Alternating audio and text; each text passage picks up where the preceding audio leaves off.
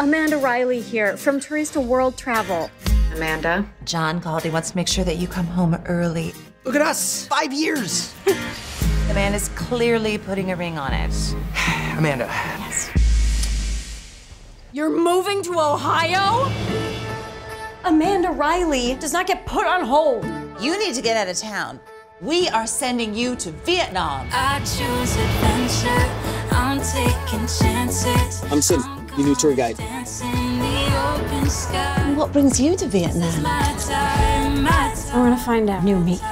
I want experience. Put that guidebook away. Why? It's for tourists. I'm a tourist. No, you're a traveler. A tourist wants to escape life. A traveler wants to experience it. Fill me in. Is it yummy? We are grown women. Why do you use words like that?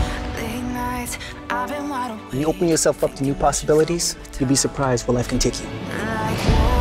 There's just so much to be said for throwing away the guidebook.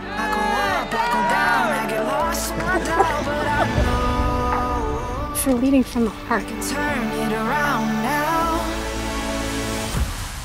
Surprise. This story finally got good. You and two hot men in a love triangle. John and I are just so comfortable together. And Sinh is so adventurous and exciting. But what if he's just a vacation romance? Not a real life one. This trip has shown me that I wasn't actually lost. I just wasn't where I was supposed to be.